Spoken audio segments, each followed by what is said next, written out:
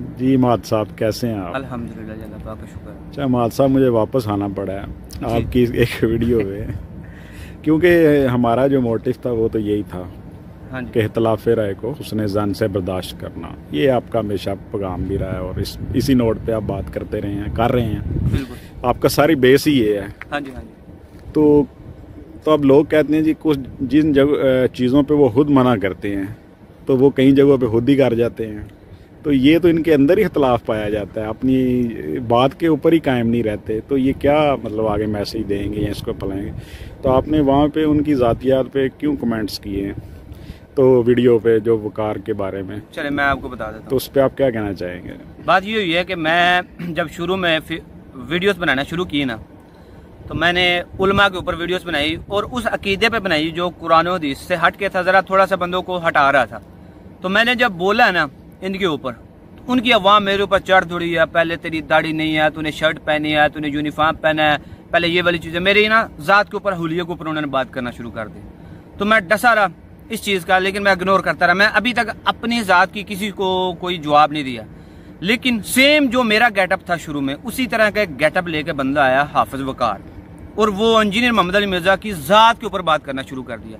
अब इंजीनियर मोहम्मद अली मिर्ज़ा साहब की एक क्वालिटी जो है, वो सब मानते हैं कि वो जब भी बात करते हैं, इबारतों के ऊपर करते हैं, जो किताबों में लिखी हैं, उनके ऊपर करते हैं। किसी की ज़ात के ऊपर कभी उन्होंने सीधा फतवा फतवा नहीं लगाया, ना ही कभी अशरफ अली थानवीर के ऊपर लगाया, ना ही उन्होंने ख्वाजा मयूद्दीन चिश्ती के ऊपर लगाया।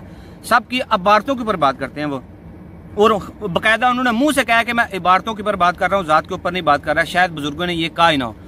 तो वो हाफज वकार है, वो जी उसने वो लफ्ज़ कोई पकड़े हैं दो चार। वो इंजीनियर की ज़ात के ऊपर वो जहलमी है, वो मरजा है, ये है, वो है, काफरों के साथ और कादियानियों के साथ। पहली तो बात, जो कादियानी है, उनको बिला दलील जो है ना, काफर समझते हैं, ठीक है? मिर्ज़ा कादियानी जो है हम उसको दज्जाल समझते हैं, ठीक है? तो बाकी ये जो उसको उसके साथ मिलाते हैं, कितनी बार वो मुँह से बोल दिया, काफर है काफर है, फिर उसकी ज़ात के ऊपर बात करना तो फिर मैंने फिकानवी का डसा हुआ था मैं भी। तो मैं फिर इनको थोड़ा सा आईना दिखाया कि अगर हम भी ज़ात के ऊपर बात करना चाहें ना तो कर सकते हैं। आप जिसको इमाम बना के बैठे हैं, वो क्या उसका हुलिया आपने देखा है? तो वो मैंने इनको थोड़े से ना एक, और मैं ज़िंदगी में पहली और आखिरी बार किया जब उस बंदे ने आके इंजीनियर मोहम्मद अली मिर्ज़ा की ज़ात के ऊपर बात करना शुरू की तो तब सबने उसको हलाशेरी दे दी। किसी ने ये नहीं देखा कि उसका हुलिया क्या है, और वो दीन इस्लाम का कोई, उसके अंदर कोई बात भी है। लेकिन जब हमने बात शुरू की थी, आप लोगों ने सारी नीटी ग्रिटिस देखी थी कि ये बंदे की दाढ़ी नहीं है इस बंदे का कपड़े देखो, सारा कुछ। तो मतलब ये है कि आप अपनी मर्ज़ी का दिन चाहते हैं। मतलब आप वो चाहते हैं जो आपकी मर्ज़ी का है, ठीक है? उसमें आप कुछ भी नहीं देखेंगे। लेकिन दूसरा जब कोई बात करेगा आपके मुखालफ तो उसमें आप उसका उलिया भी देखेंगे, उसका गेटअप भी देखेंगे, उसकी दाढ़ी है या नहीं है, उसको सर्टिफिकेट देना है या नहीं देना ये आप अपनी मर्ज़ी की चीज़। इसलिए मैंने हाफत वकार की जो है ना ज़ात के ऊपर थोड़ी सी बात की कि आपको आईना दिखाया कि हम भी ये काम कर सकते हैं। ये ज़िंदगी में पहली और आखिरी बार थी। मेरे भी कुछ लोग मेरे से नाराज़ हुए हैं कि यार तूने उसकी ज़ात के ऊपर क्यों बात की है? हमाद साहब हमारा ये भी तो क्वेश्चन हो सकता है कि मैं भी अब लोग जो है आपकी बात सुन के इस चीज़ से आगे निकल गए हैं होलिये से। ये भी तो हो सकता है वो आपसे मोटिवेट हो गए हों। ये कहानियाँ ने।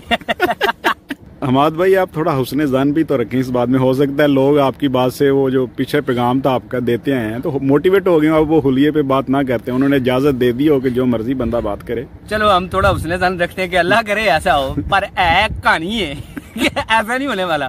अब देखो, कल मैं फिर कोई शर्ट पहन के आ जाता हूँ ना यूनिफॉर्म की या कोई और पहन के वीडियो बनाता हूँ तो इन लोगों ने फिर वही बात करनी है। वो शर्ट पहनी है तूने तूने काफरों वाला लिबास पहन लिया है। लेकिन जो इनकी फेवर में आएगा और वो बेशक टी शर्ट पहने बालों पे हेयर बैंड लगा ले, उसको ये अपना इमाम बनाएँगे। तो मैं सिर्फ़ इनको एक आईना दिखाना चाह रहा था कि भाई आप मुखालफिन की तो लुक बड़ी देखते हो कि आपने जिनको इमाम बनाया है उनकी भी लुक देख लें। तो मेरे अपने लोग मेरे से नाराज़ हो गए कि ये तूने गलत किया है भाई मैं सबसे मदद करता हूँ। मैं सिर्फ़ एक ना मैसेज छोड़ रहा था हम्म। आप लोगों के लिए कि आप लोग मुखालफीन का जैसे नीटी ग्रिटी देखते हैं अपनों के लिए भी वही हुसन जन रखें। फिर उनको भी उस तरह का सर्टिफिकेट देना शुरू करें। मेरे ऊपर तो या इंजीनियर मोहम्मद अली मिर्ज़ा की जात के ऊपर आपको बात करनी नहीं चाहिए। आपने बात करनी है हम अबारतों के साथ अबारत मिलाते हैं ठीक है? आपके किताबों के साथ कुरान हदीस को मिलाते हैं। तो आप हमारी बातों को रद्द किया करें हमारी जात पे उतरना ये आपकी नाहली है। ये इससे हमें पता चल जाता है कि आपके पास कुछ नहीं है। पल्ले कुछ नहीं है बस जानबूझ के आप जो है ना बिला वजह की तनकीद लेके आते हैं। जात पे उतरना कोई इख्तलाफ नहीं होता। तो आप इससे नतीजा क्या निकाल रहे हैं? क्या उनको फिर सारों पे तनकीद करनी चाहिए या होलिये पे किसी के भी बात नहीं होनी चाहिए? यार इस पे मैं यही बात करूँगा कि हमेशा ये देखा जाए क्या कह रहा है? हमेशा ये देखना चाहिए बंदा क्या कह रहा है, ये ना देखे कौन कह रहा है और किस सूलिए में कह रहा है। तो बात पे फोकस होना चाहिए, बस यही नसीहत इनके लिए। जजाक अल्लाह खैरा।